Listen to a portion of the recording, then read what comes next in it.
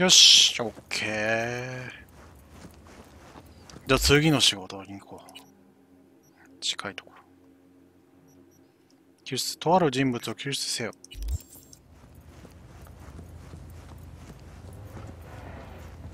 これだな。D 聞いてメイルストロームのとこにリパードクがいるんだけど彼女は連中に無理やり働かされてるのなるほど。サイコどもから救出してきてくれない？彼女の弟からの依頼よ詳細を確認して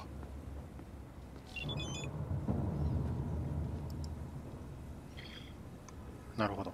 依頼救出。目標、メールストロームに囚われたルーシー・タッカリを救出する。場所。ロングショアノース通りのクリーンカットクリニック。血が血を呼ぶことは、ん？血が血を呼ぶとはこのことね。バーティーってやつがよくも考えもせずにメールストロームに加入したんだけど、えー後悔先に立たず。奴らのルールは簡単。えー脱、脱退者は死ぬか別の代償を払うしかない。そこで姉のルーシーがその代償を払うことにしたわけ。えーそれも金ではなく彼女の専門知識と技術を提供することで、弟の自由を買い取ったのよ。え問題は3ヶ月間奴らのサイバーウェアの修理を受けよう約束だったはずなのに、もう5ヶ月も経っている。というわけであなたの出番。え今回の報酬はバーティーが出すわ。ちゃっかりエディを溜め込んでいたみたいね。このお姉さんだね。黒人の。綺麗だね。というわけです。こうだ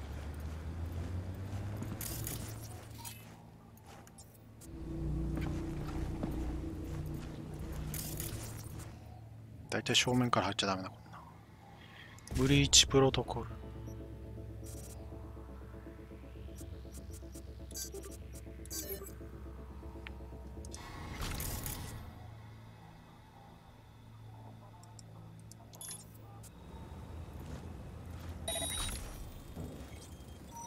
結構いるな。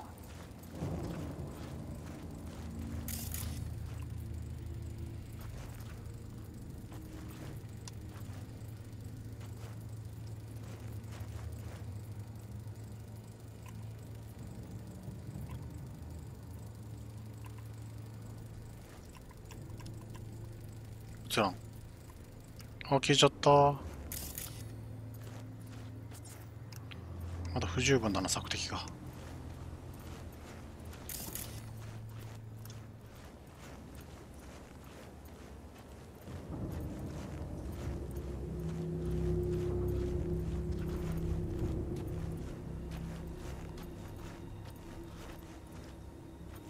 裏口ありそうだな。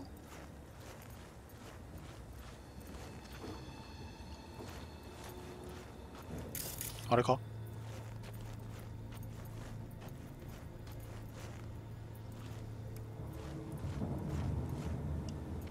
ちょっと上見てみる。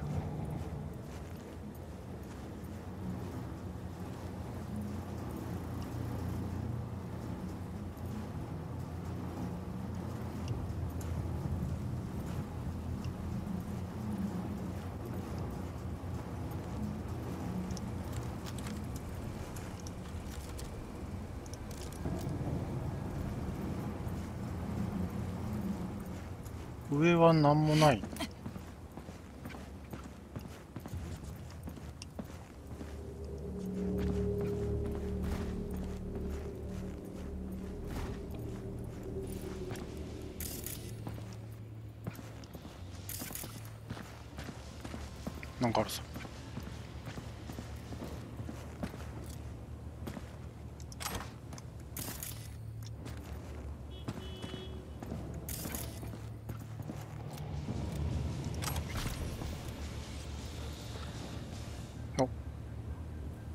けるね。2階から潜入するか。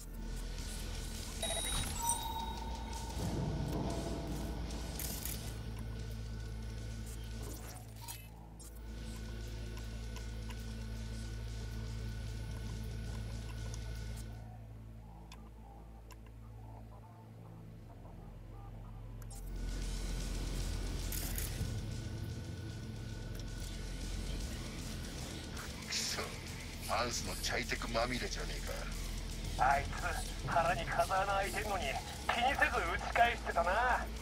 さすがハンスだ。あいつにはかなわねえよ。リーパーに早く縫ってもらおうぜ。まったくだ。ほら下ろせ。任せろ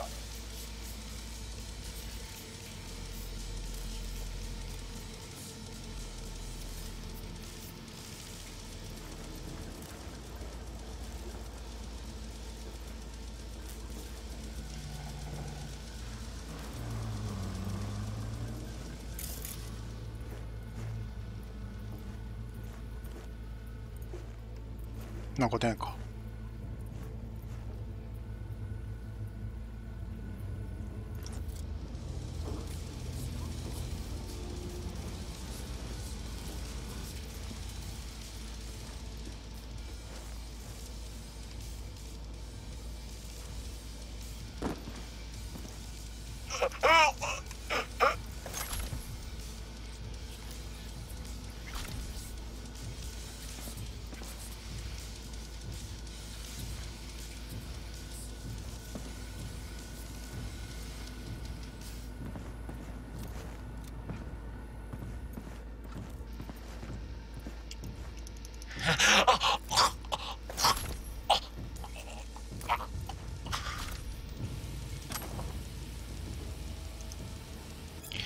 えー、ミゲールとジョンソンとニコライ・ジョーダル。ミケール、今手術中だ。ニコライ。なんとかなりそうか。さあな。でもあのルーシーって医者は腕きだ。ビルに省庁か何か取り付けたら。あれから小便するために大はしゃぎだ。そんなことはどうでもいい。取引の話だ。えー機材は全部手に入ったのか全部じゃない。一部置いてこなきゃならなかった。人を集めて残りを回収してこい。今度はしくじるなよ。なるほど。やりとりか。ジャンプしちゃった。アクセスカード取得した今。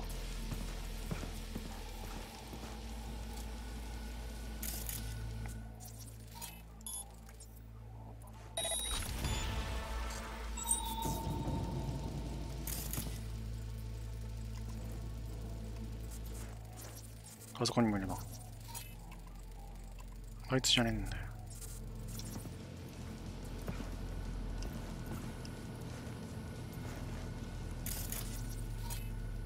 すぐ切れやがる。こっち向いてんのか。あっちょ。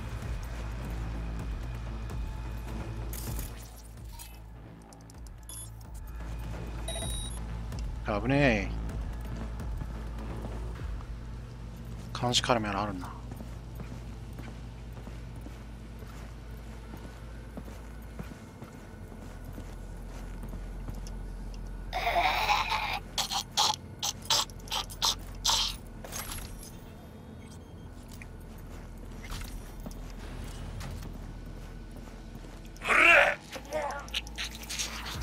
あ、声出しやがったこいつ。ちくしょう。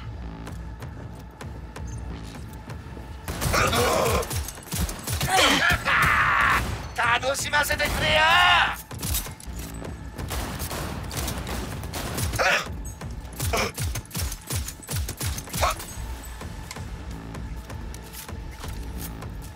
クリアかよしいやまだなんかある。何見られたんだ今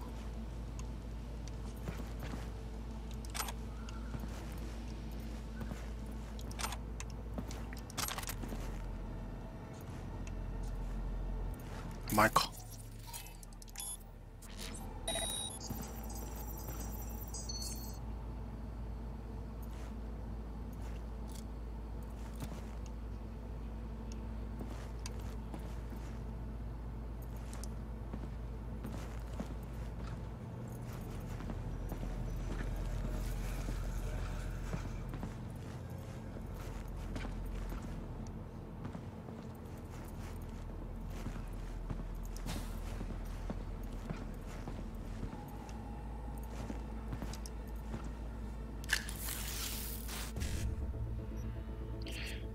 111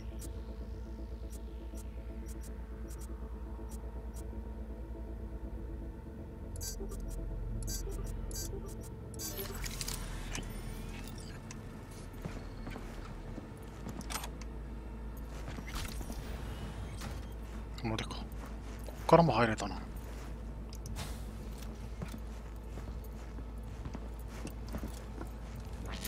あそういうこと。別にもう見つかってもなんだよな。寝てなさい。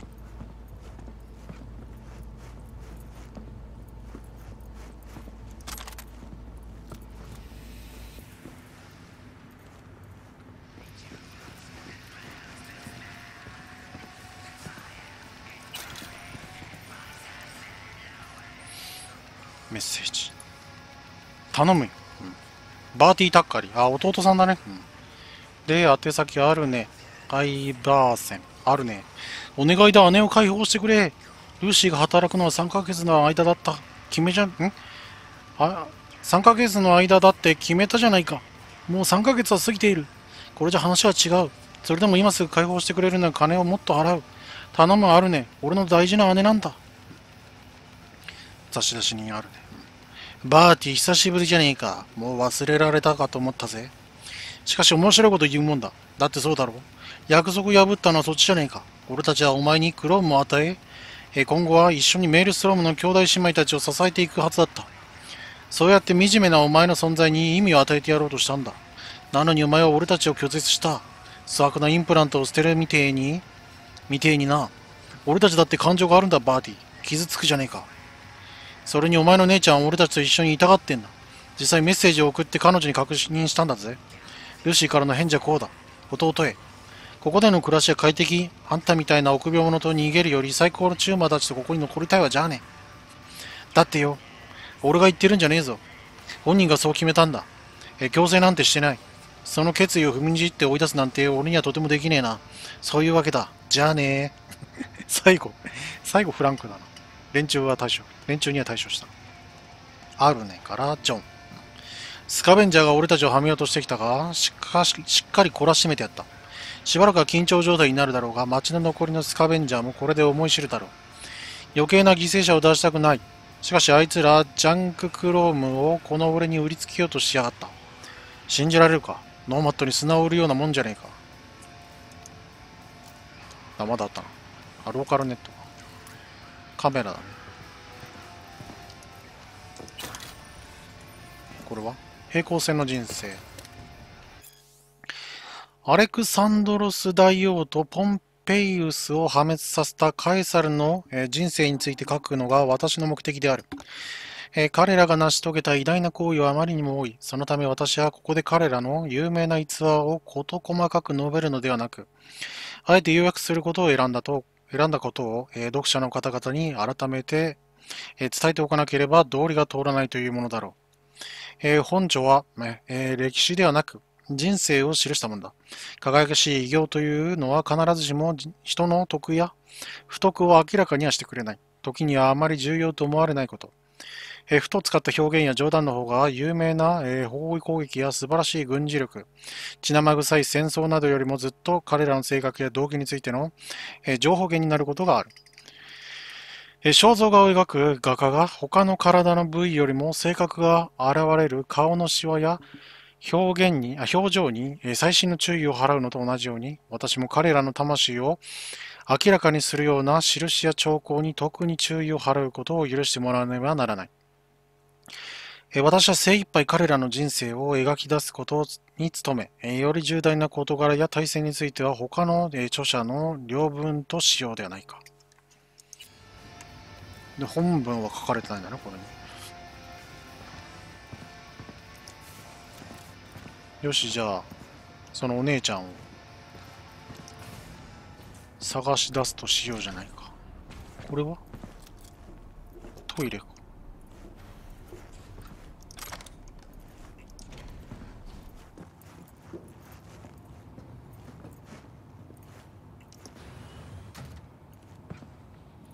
いるね。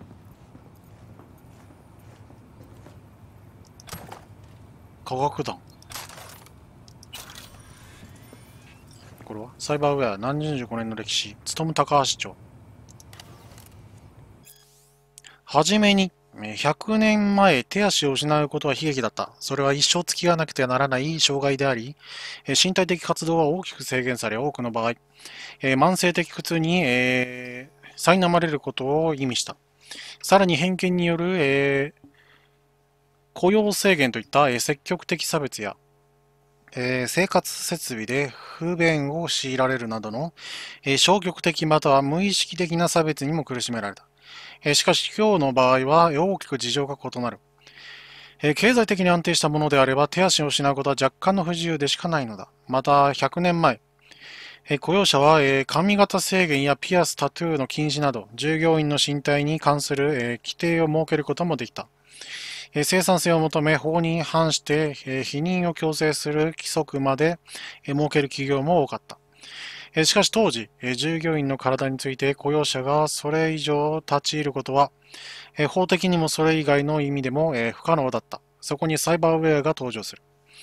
え21世紀後半の、雇用者は従業員の肌、骨、筋肉、臓器、目を付け替えることで、作業能率を高めることができるようになったのだ。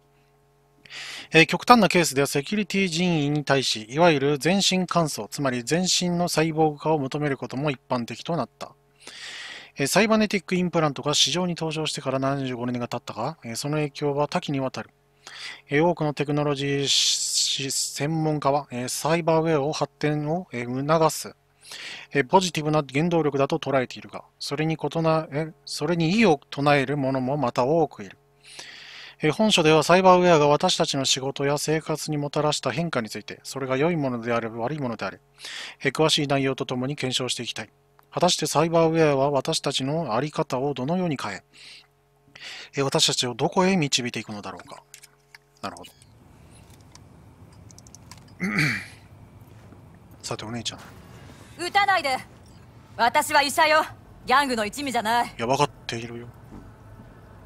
知っている。知ってる。ルーシー・タッカリーね、またテックが止まった。このポンコツ。であなたは？ビーを弟に頼まれて助けに来た。バーティが？そう。分かった。少し待って。そいつはどうしたの？もたもたしてるとまた奴らが襲ってくる。撃たれたのよ。なんとか処置できたと思ったらまた出血が始まったのこんなことしてる場合じゃない。本当。ここにはろくな機材がないんだから。今すぐ逃げるのよ。ちょっとあなた彼をスキャンして。冗談でしょ。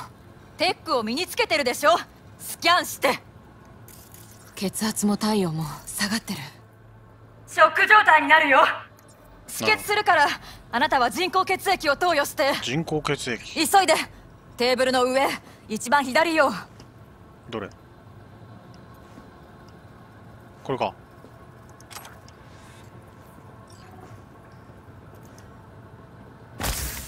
どうぞ。絶対に死なせない。よし。傷口が閉じるまで少し待ちましょう。どうしてこんなことを？医者だから。そいつは大勢を殺してるはずよ。私がやってるのは手術で。裁判じゃない。よし。ひとまず安心ねあとは安静にしてれば大丈夫ありがとう行きましょう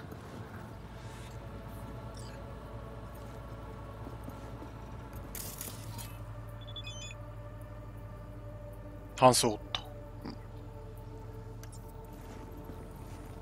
なるほどね。お姉ちゃんはもうここになんかちょっと、使命的なものを感じてるんだね。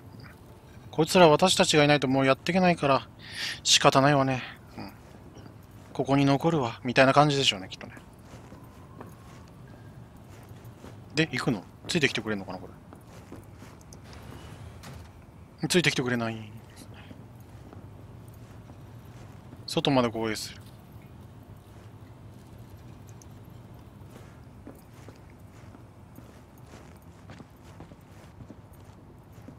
あ、来るわ。お姉ちゃん行くよ。離れないで頭を下げて。これ来るんじゃない？増援が。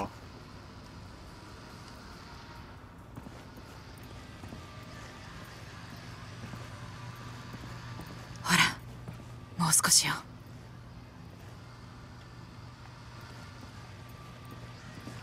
そういうわけじゃない。んだ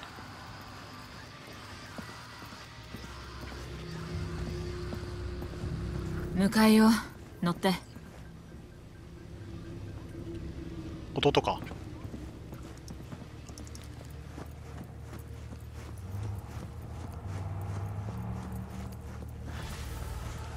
これ弟だ。ね私は乗せてくれないんだ。あ私は乗せてくれないんだ別に。ああ。そう。ルーシーは無事到着。見事ね。助かったわよし。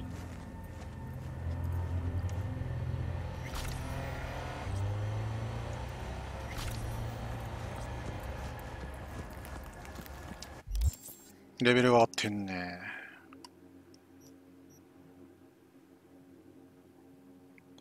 へえ石あちうんまあいいか。知力でよかったな。まあいいや。とにかく、とにかく今ね、射撃力を上げていきたい。戦闘が楽になると思うんで。まあでもだいぶ育ってきてはいるんだよね。アサルト。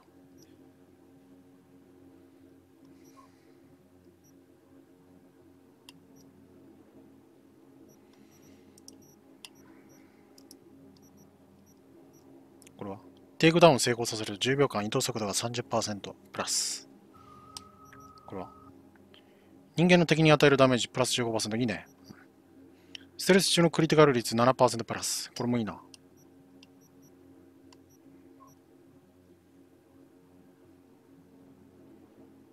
でもこれだろう。ダメージが上がる。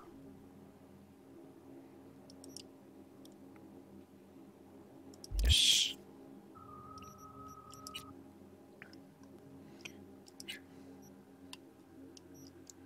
どんどん崩しちゃうよ。いらないもんはね。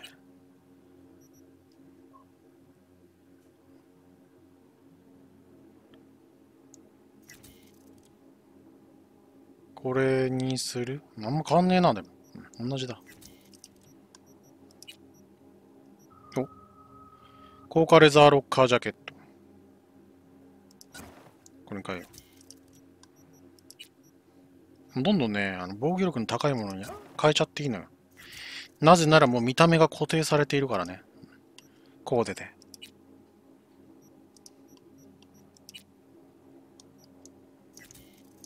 よし。武器。ポシャル、パワーショットガン。いいね。291。これショットガンに入れよう。ポシャル。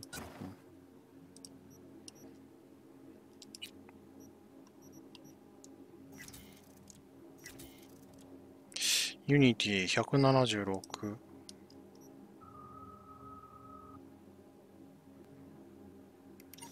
っと待って、アップグレードできるかな？アップグレードできるね。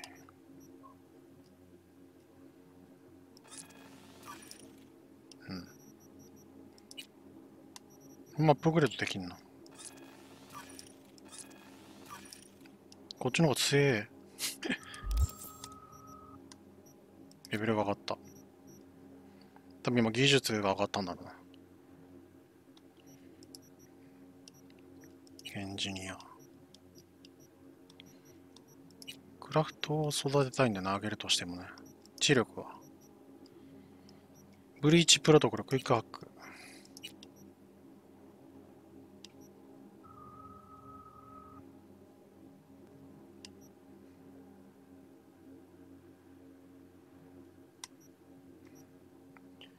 データマイニングデーモンアップグレード。クイックハックかな。クイックハックのダメージが上がる。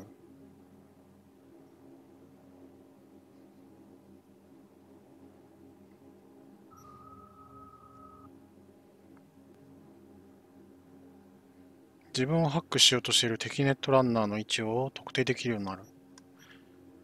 これいいな。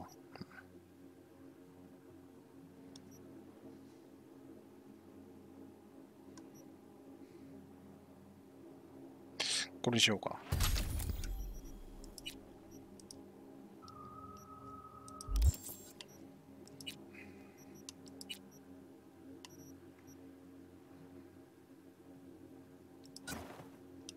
なんかついてる。水平方向の反動なくす。すごい。いいね。100目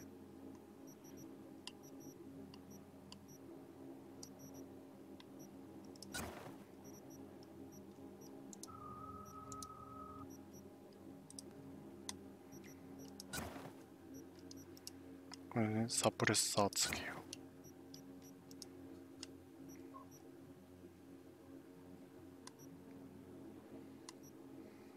クリティカルダメージ5%プラス。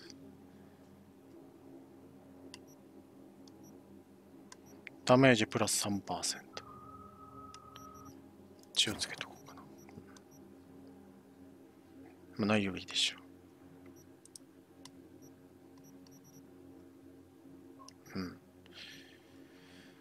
あとは崩しちまっていいかね、うんこれだけ残し。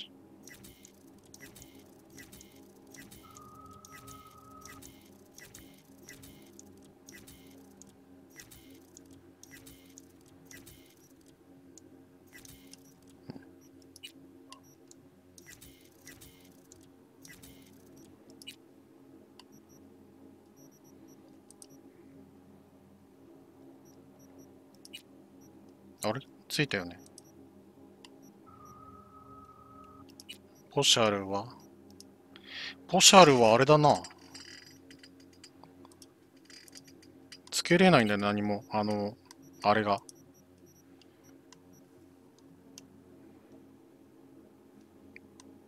アドオンが。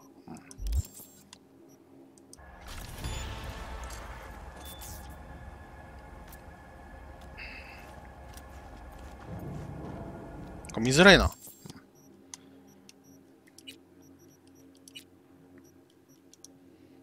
こっちのがいい。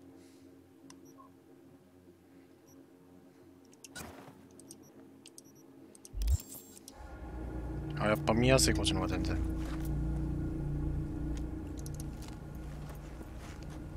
よし、じゃあ次行きますかね。サイバー最高、近くにいるな。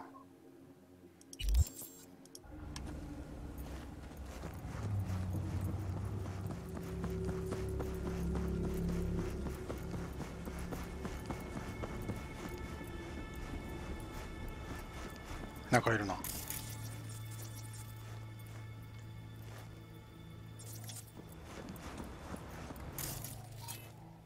大河黒坂。指名手配。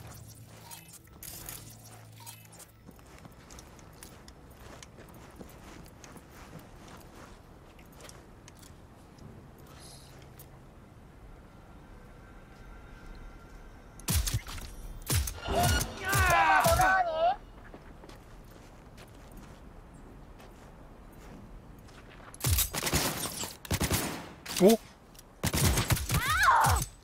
スマート武器なんで使っときやが。った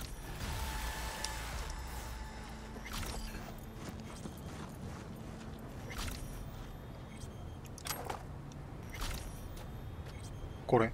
チャオ。スマートピストル。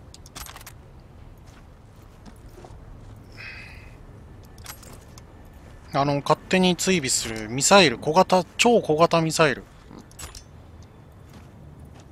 を放ってくる。っていうピストル。いいバイク乗ってらっしゃいますね。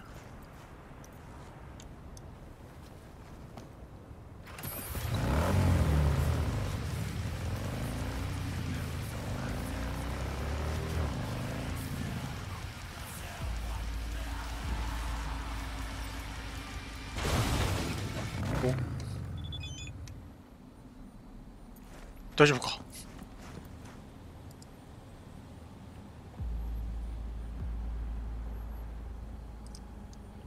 なるほど。メイルストロムの誰かが。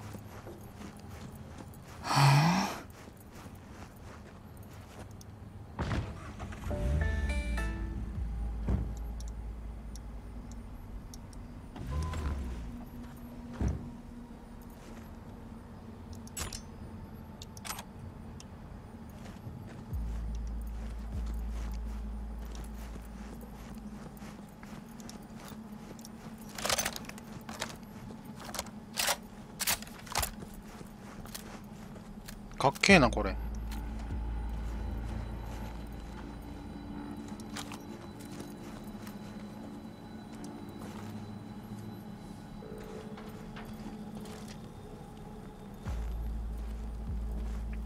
どっかにいるぞ。サイバー最高が。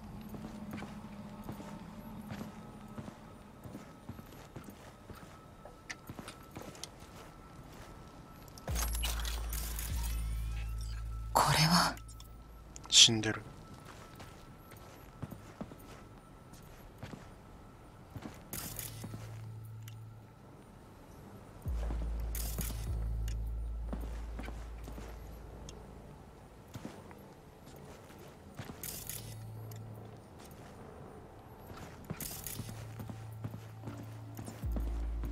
こいつも死んでんの。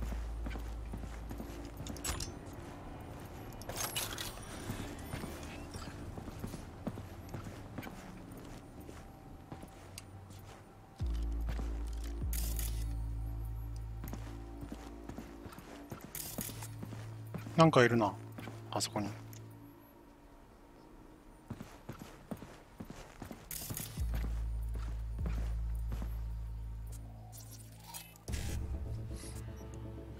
広報実施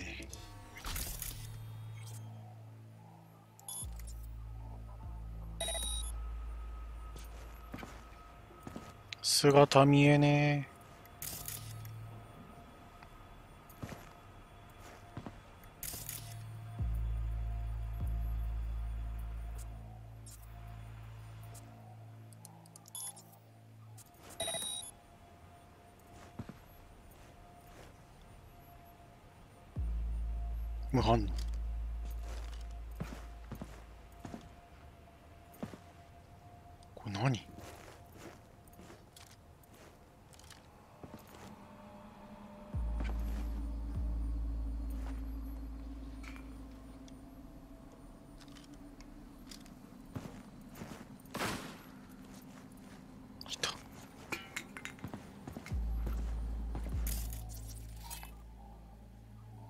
バレンティーノス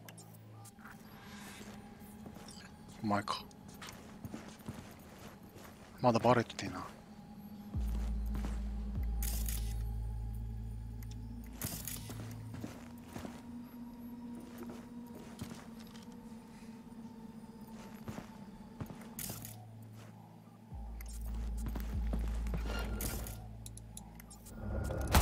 ¡A mí! ¡Solo me juzga la huesuda!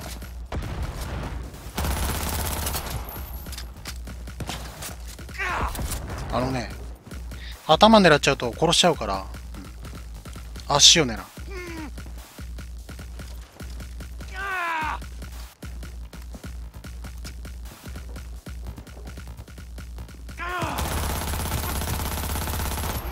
うーうーフラッシュバン。逃げたんか。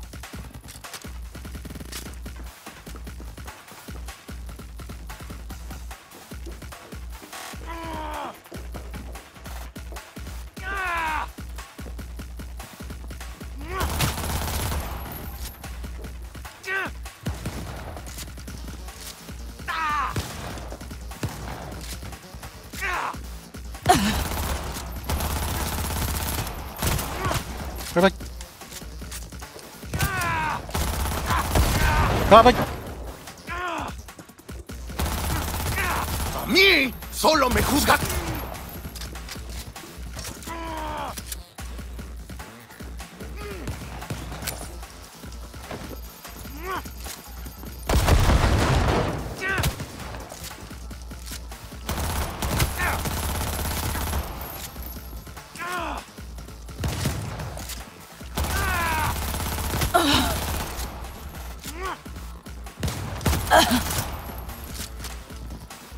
もうすぐ。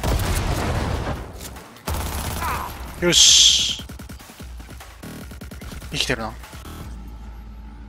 よしよしよし。さよなら、うん、たまら奴らに奴らに連れてん？奴らに連れ去られてずっとお前に連絡しようと頑張っている。そっちも探してくれてるんだろ？なんとかして外部と連絡したいんだが、ネットへの接続は無理そうだ。お前がやり方を教えてくれたとき、ちゃんと聞いておくんだったな。それでこのざまだ。正直、今の俺の姿を見ても、もう俺だとわからないだろう。自分で見たってわからねえんだ。こんな化け物になっちまって。口に銃を突っ込んで全部終わりにしてやりたいよ。畜生。あいつら俺を生かして返すつもりないみたいだ。トラクターみたいな手におぞましい赤目までつけられた。お前のチューマーたち。バレンティーノズはやめておけ。浮気されておしまいだ。別れも言わずに逃げ出すぞ。なんてお前に忠告していたよな。そちらのことばかり考えている。俺がいなくなってさぞドヤ顔でだから言ったろってお前に言うんだろう。まるで見当違いだってのに。ああ、ムカついて気が狂いそうだ。頭が爆破しそうにない。爆破しそうに痛い。このままじゃもういつ弾が弾け飛ぶかわからないんだ。なるほど。だからバレンティーノズの一人をメールストロームが連れ去って勝手に改造しちゃったんだ。うん、サイバーウェアでね。うん、その結果これ。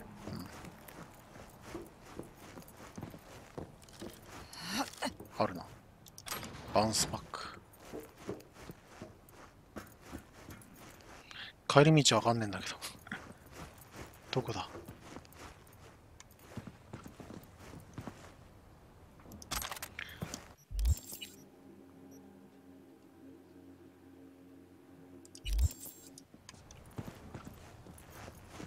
これか。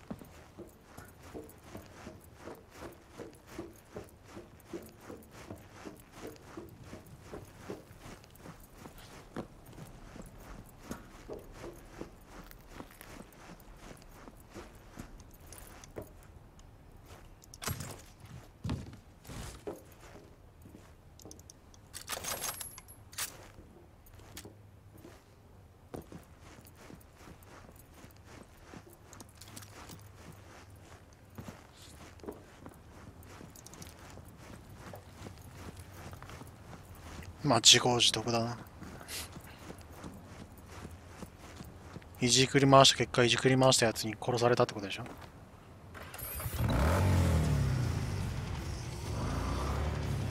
あ、レジーナにメッセージ送んなきゃ。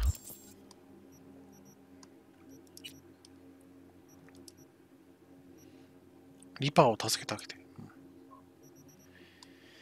えさっきのやつだね。えー、あ、これはあれか。俺が見てなかっただけか。車が,、ま、車が待っている。ルーシーを乗せて。えーと、ターゲットはメールストロームじゃなくてバレンティーノズだった。サイボーグ教の連中によほどの恨みを買ったのね。クリスマスの七面鳥よろしくインプラントを詰め込まれておかしくなるまで放置されたんだから。こんなに急激に、えー身体改造されたら誰だってこうなるはず。ウェアが体に馴染むどころじゃない。それでサイバーサイコ質を発症したのよ。わずかでも自制心が残っていたのが不幸中の幸いね。しばらく前、メールストロームは新しいサイバーウェアを試させるボランティアを募集していたの。でも誰一人来なかったんでしょうね。それであの防具どもはストリートで人をされ始めたの。バレンティーノズはいなくなった彼を随分探してた。もちろんネットに大量のデータ、ん？データフィーラーを流して足取りを応答した。ネットランナーもね。えー彼は隙を見て逃げ出して、えー死に物狂いで助かろうとしたんでしょう。そしてメールストロムは行いの代償を払うことになった。かなり手痛い代償をね。えー彼を生きて助け出せてよかった。まだ若いんだし、ちゃんとした支えがあれば適応できるんじゃないかしら。新しい体と人生に。なるほど。というわけでクリア。